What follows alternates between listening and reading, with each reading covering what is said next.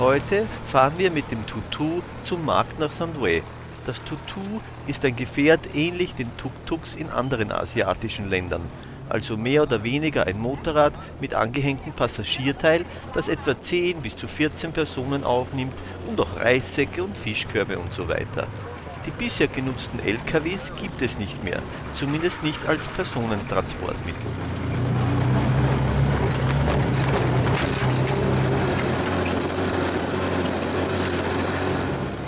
Die Fahrt kostet pro Person 500 Chat und nach circa 35 Minuten holpriger Fahrt erreichen wir Sandouet und den neuen Markt.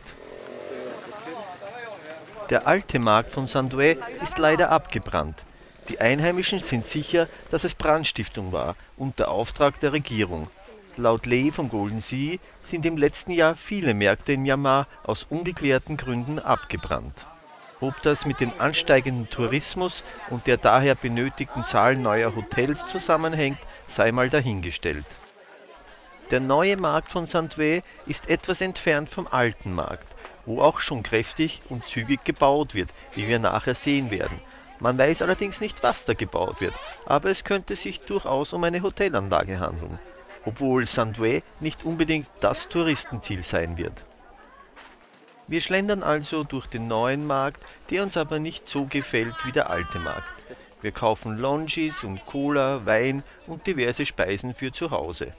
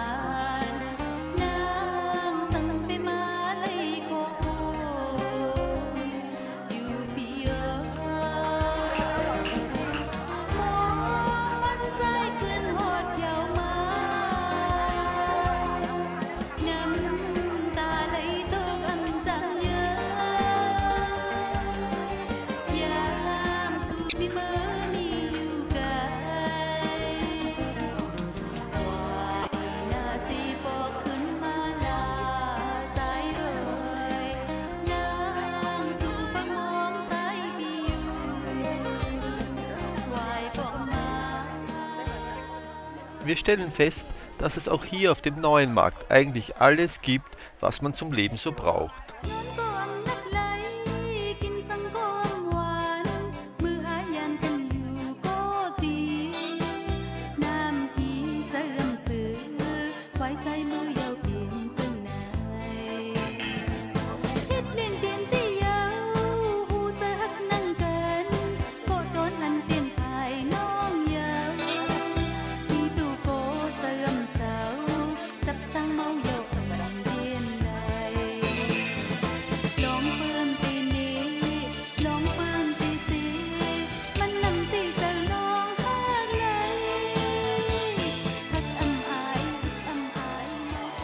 Einer recht alten Frau kaufen wir für 500 Chat Kleebreisspeisen ab, die wir nachher einem weinenden kleinen Jungen schenken, der sich daraufhin auch sofort beruhigt.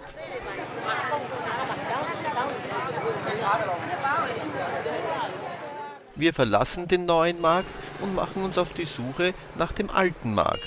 Ein bisschen sind wir orientierungslos, weil uns das Tutu ganz woanders aussteigen lassen hat als im Jahr davor.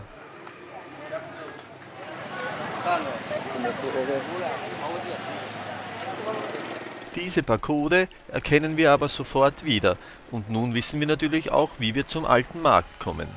Und hier ist er, der alte Markt. Verdeckt von Blechwänden wird dahinter gebaut. Was hier aber genau entsteht, lässt sich nicht erkennen. Und diesen beiden Katzen wird es wohl auch ziemlich egal sein.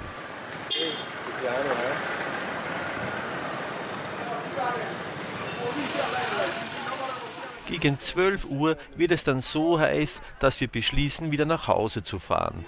Der Fahrer unseres neuen Tutus fährt recht schnell und es geht äußerst holprig und heftig zu.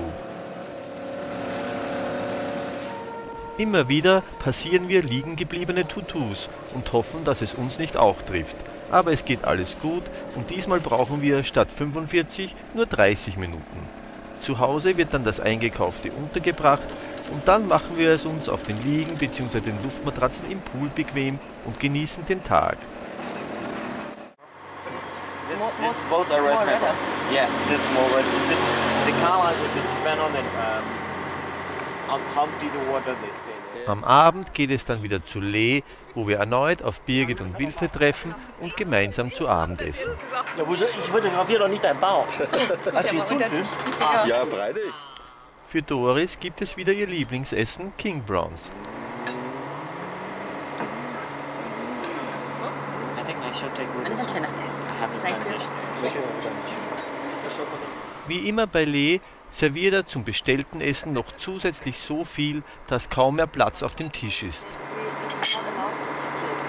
Das ist nicht gefilmt. Das war gedacht. Have.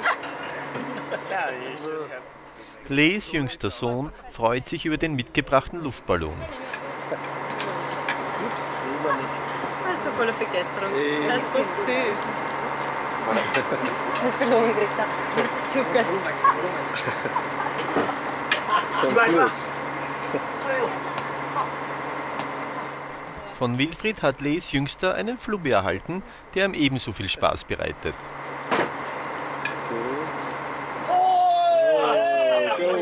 Go. Alter. In die Fliegen drauf. Now, because of this war. Okay. Perfekt. Jahrelanges So Training. Ja. Aber das, das jetzt ist, musst ja, du halt- jetzt das ist halt leider kein richtiger Kork.